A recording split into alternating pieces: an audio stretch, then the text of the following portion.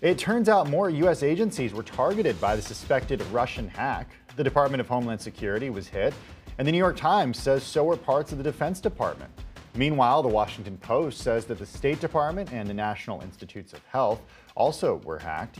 Federal agencies have been told to disconnect their SolarWinds software that was manipulated to break into the networks.